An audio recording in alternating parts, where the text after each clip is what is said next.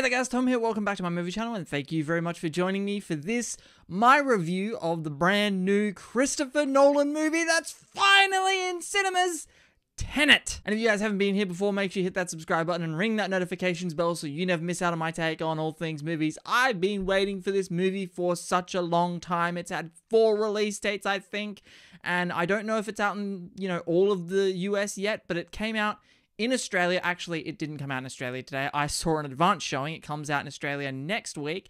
So, for those of you in the US who haven't had the opportunity, unfortunately, to see Tenant yet because of what's going on in the world right now, rest assured that I will not be spoiling anything in this movie. I'm going to talk very carefully about Tenant because this is a movie that you do not want to be spoiled for. So, Tenant was written and directed by Christopher Nolan and it stars Robert Pattinson, John David Washington, and Elizabeth Debicki, and also Kenneth Branagh, who recently directed Artemis Fowl, which wasn't good. And how best to describe this film? It's a sci fi action thriller with a little bit of time travel thrown in there. This is a very weird movie, and it's also like a distinctly Christopher Nolan movie. You know, Christopher Nolan movies you can tell when you're watching a Christopher Nolan movie, and you don't even have to be a big cinephile to recognize his style.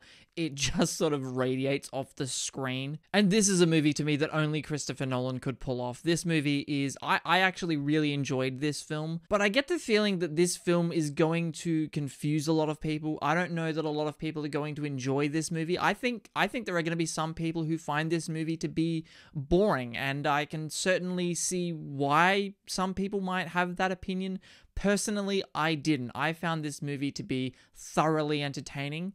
I found the action sequences in this film are incredible. But let's start and talk about some of the characters and some of the actors and the performances of, of Tenet.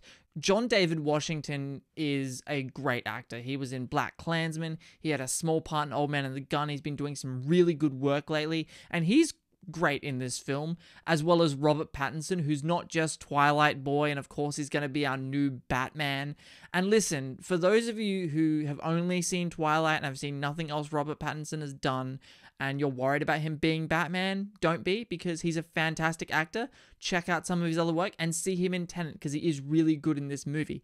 The standout performer, though, of this film to me and my friend Ali, who saw the film with me, the standout performer to me in this movie is, is Elizabeth Debicki, Debicki? Debicki? And to me, she was the most compelling character in the movie. And while that's great for Elizabeth Debicki and, and that character, I didn't find the other characters in the film, like the John David Washington character or the character that Robert Pattinson plays, I didn't find those characters overly compelling.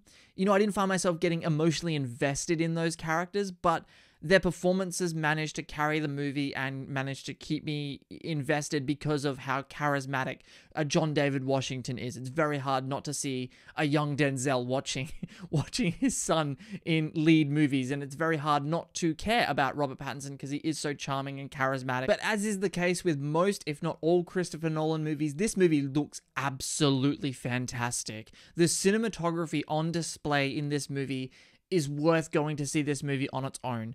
Like it, it's beautiful, it's breathtaking. There are some gorgeous shots in this film that you could just photograph and put on your wall as a as a wallpaper or as a as a poster because it just looks fantastic. And the action scenes in this film with time reversing and going backwards and forwards. And you've seen some of it in the trailers, like, you know, there'll be a car, it'll be driving, and then time will reverse and it will roll backwards at, towards the characters. And, you know, shooting guns and bullets going back into the gun instead of shooting outwards. Like the, the, depiction of the reversal of time in this film, I thought was really creative and it worked really well. Time travel in movies can be a bit of a cheap and lazy device because really with time travel there are no consequences.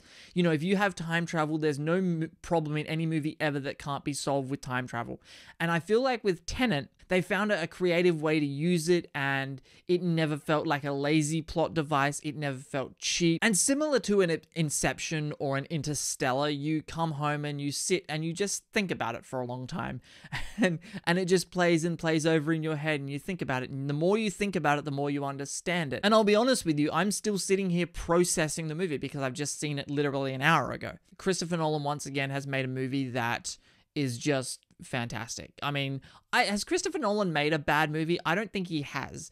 Christopher Nolan makes movies that you know, just win. Dunkirk was fantastic. The Dark Knight trilogy is fantastic. Interstellar, Memento, Inception, they're all great. And Tenet, Tenet, not Tenet, Tenet is no exception to that. Guys, this movie is fantastic. When this movie does come out and you are able to go and see it, go and see it because I think it'll be worth going to see, if for nothing else, just to see a brand new Christopher Nolan movie on screen because look, I enjoyed Tenant. I had a great time watching it. I hope you guys will have a great time watching it when you eventually get to see it.